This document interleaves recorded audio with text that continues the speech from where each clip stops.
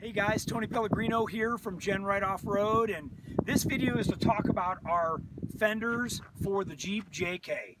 We offer these fenders in steel or aluminum. We prefer the lightweight of the aluminum.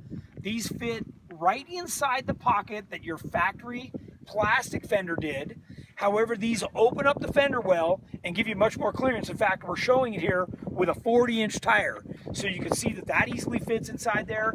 Um, these are a bolt-on item, really easy to install, and uh, they're about the same width as stock.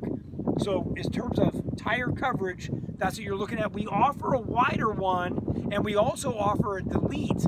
So if you don't want any fender all, we make a cool little plate that bolts on inside there and uh, cleans it right up and makes it look good.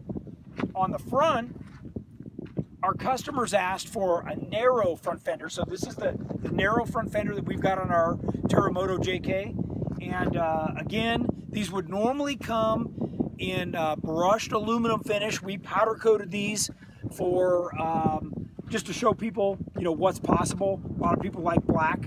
Um, you can see that it's very tight. It also opens up the fender well again for a 40 inch tire.